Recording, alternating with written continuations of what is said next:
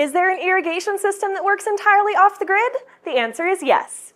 We have a solar-powered irrigation system that comes with 22 feet of main hose, 55 feet of distribution hose, 50 emitters, a control unit, a solar panel, and everything else that you need to get started. We are using a designated barrel to pump the water out of, but if you're using the system in your growing dome, you can pump directly out of the pond.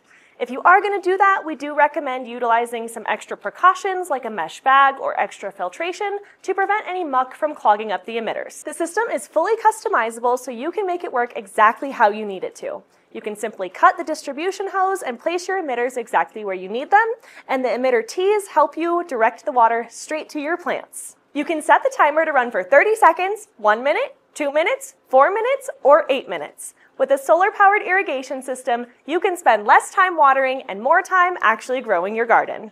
Get started with a solar-powered irrigation system by checking out the link in the description box.